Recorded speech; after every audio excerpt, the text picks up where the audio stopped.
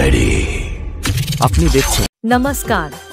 Welcome to SS Editing Godkilla Say. Please one like and one comment. Please support and share your friends. Preview.